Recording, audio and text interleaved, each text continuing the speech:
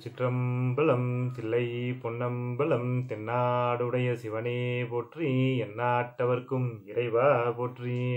நம்முடைய ஈசனை தேடி என்ற இந்த யூடியூப் சேனலுக்கு உங்களை எல்லாம் வரவேற்று மகிழ்கின்றேன். இதுவரைக்கும் நம்ம ஈசனை தேடி யூடியூப் சேனலை நீங்கள் சப்ஸ்கிரைப் பண்ணலைன்னா உடனே பண்ணிக்கோங்க. அடியேன் தரிசித்த தேவார திருத்தலங்களை அதை பற்றிய பதிவுகளை உங்களுடன் பகிர்ந்து கொள்வதில் நான் பெருமகிழ்ச்சி அடைகின்றேன். இன்றைய பதிவில் நாம் தரிசிக்க போகும் தேவார திருத்தலம் சர்க்குணேஸ்வரர் திருக்கோவில் இடும்பாவனம். இந்த திருக்கோவிலை பற்றி தான் இன்னைக்கு நாம பார்க்க போறோம். வாங்க பதிவுக்கு போகலாம்.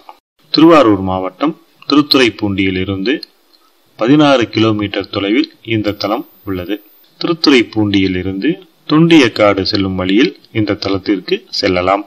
இந்த திருக்கோவிலின் இறைவன் அகத்தியருக்கு மணக்கோலம் காட்டி அருளியவர். சுவாமிக்கு பின்னால் மணவாள கோலம் உள்ளது. இந்த திருக்கோவில் பிதுர் முத்தி தலங்களுள் ஒன்று. ஆகவே பிதுர் வழிபாடுகளை செய்வதற்கு இந்த தலம் மிகவும் விசேஷமானது. சுவாமியின் திருப்பெயர் சர்க்குணேஸ்வரர் சர்க்குணநாதர் மணக்கோலநாதர் கல்யாணேஸ்வரர் இடும்பாவனேஸ்வரர். இறைவியார் திருப்பெயர் மங்களவல்லி மங்களநாயகி கல்யாண ஈஸ்வரி. தலமரம் பில்பம் தீர்த்தம் பிரம்ம தீர்த்தம் அகத்திய தீர்த்தம் யம தீர்த்தம் வழிபட்டோர் இடும்பன் பிரம்மன் அகத்தியர் யமன் ராமர் ஆகியோர்.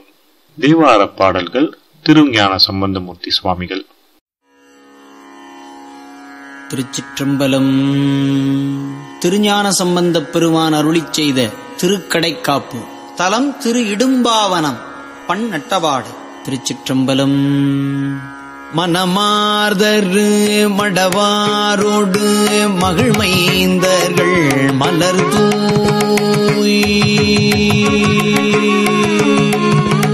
தனமார்தரு சங்க கடல் வங்க தீரள் உந்தி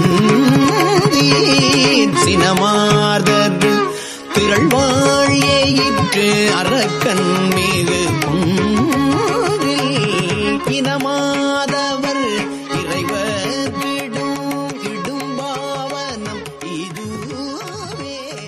கோவில் மூன்று நிலை ராஜகோபுரத்துடன் காணப்படுகின்றது.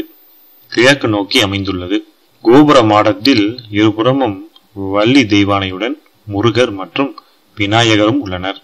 கோவில் உள்ளே சென்றவுடன் இருபுறமும் முன் வரிசையில் இடும்பன் அகத்தியர் சூரியன் சந்திரன் நால்வர் மற்றும் பைரவ மூர்த்தங்கள் பிரதிஷ்டை செய்யப்பட்டுள்ளன. ஒரே பிரகாரத்துடன் ஆலயம் விளங்குகின்றது. சுயம்பு லிங்கமான மூலவரின் கருவறை உயர்ந்த அடித்தளத்தின் மீது அமைக்கப்பட்டுள்ளது. மூலஸ்தானத்தில் கருணையே வடிவாக காட்சி தருகிறார் ஸ்ரீ சர்க்குணேஸ்வரர். இவரை வழிபட்டால் மன அமைதியும் அற்புத வரங்களையும் பெறலாம். நம் வாழ்வில் ஏற்படக்கூடிய இடர்களை நீக்க வல்லவர் இவர். இடுக்கன் பல கலைவான் இடம் இடும்பாவனம் என்று திருஞான சம்பந்தமூர்த்தி தனது பதிகத்தின் பத்தாவது பாடலில் இக்கருத்தினை உறுதிப்படுத்துகின்றார். லிங்க மூர்த்திக்கு பின்புறம் சுவரில் ஆதி தம்பதியான அம்மையும் அப்பனும் எழில் வடிவோடு திருமண கோலத்தில் தரிசனம் தருகின்றார்கள்.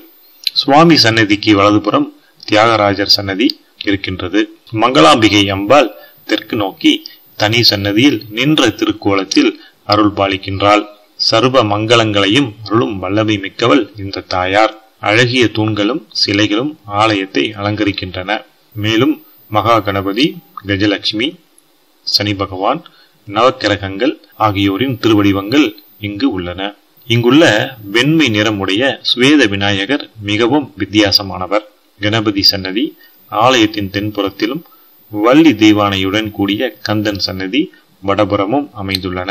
ஆலயத்தின் எதிரே உள்ள பிரம்ம தீர்த்தம் யமன் ஏற்படுத்திய யம தீர்த்தம் மற்றும் அகத்திய முனிவர் உண்டாகிய அகத்திய தீர்த்தம் ஆகியன இத்தலத்தின் தீர்த்தங்களாக உள்ளன. ஆலயத்தின் எதிரே உள்ள பிரம்ம தீர்த்தம் மேலும் யமன் உண்டாக்கிய யம தீர்த்தம் மற்றும் அகத்திய முனிவர் உண்டாக்கிய அகத்திய தீர்த்தம் ஆகியன இத்தலத்தின் தீர்த்தங்களாக உள்ளன. தல விருட்சமாக வில்வ மரம் விளங்குகின்றது. இந்த திருக்கோவில் பிதுர் காரியங்களுக்கு விசேஷமாக சொல்லப்படுகின்றது. ஆகவே பிதுர் வழிபாடுகளை செய்வதற்கு இந்த தலம் மிகவும் பெயர் பெற்றது என்ற கருத்தோடு இந்த பதிவை நாம் நிறைவு செய்து கொள்வோம்.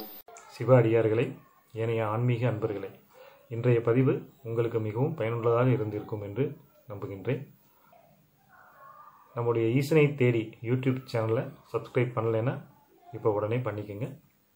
மீண்டும் வேறொரு பயனுள்ள பதிவில் உங்களையெல்லாம் நான் சந்திக்கின்றேன். நன்றி வணக்கம். திருச்சிற்றம்பலம்.